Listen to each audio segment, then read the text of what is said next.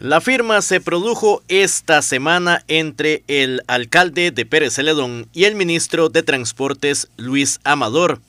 Un convenio que permitirá la producción de asfalto en la planta de Paso Real. Junto a Pérez Celedón, la municipalidad de Golfito también firmó el convenio, convirtiéndose en los dos primeros ayuntamientos a nivel nacional en estampar una firma de este tipo con el MOP para aprovechar la planta asfáltica. Esta semana pues dimos un paso muy importante eh, junto con el Ministerio de Obras Públicas eh, y Transporte, eh, acompañados también del señor alcalde pues de Golfito, pues suscribimos el contrato para lo que es la producción de mezcla asfáltica eh, para nuestro cantón de Pérez Celedón específicamente.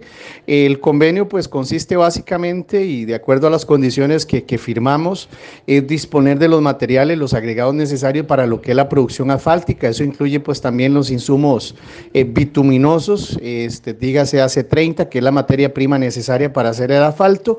Esa es dispuesta eh, y dada al MOB y ellos maquilan lo que es el asfalto y posteriormente Posteriormente nosotros los gobiernos locales, las municipalidades, pues hacemos el retiro respectivo de la mezcla eh, asfáltica. Los materiales serán suministrados por las municipalidades y el maquilado le corresponde al Ministerio de Obras. Es un paso muy importante.